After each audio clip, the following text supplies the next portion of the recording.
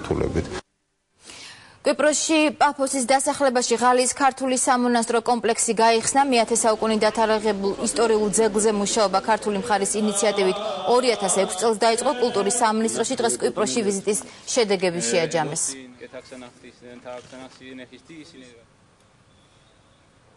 ასეთ იყო ახალი ამბები ამ დროისთვის კურიერი პირდაპირ ეთერში 9 საათი დაბრუნდება დროებით.